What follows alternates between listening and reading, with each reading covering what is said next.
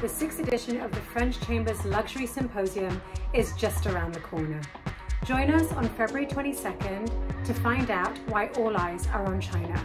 We will discuss a range of topics from NFTs to the luxury world's relationship with the metaverse to China's social and economic environment and much, much more. Don't forget to book your tickets and I'll see you there.